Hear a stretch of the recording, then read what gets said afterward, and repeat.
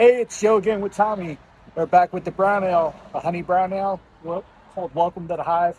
As he was pouring it out, I saw the deep brown creaminess. I'm very excited about this beer. What do you?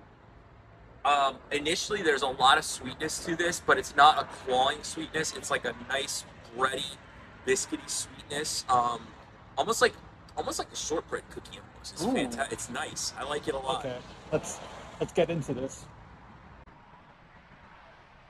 Lovely.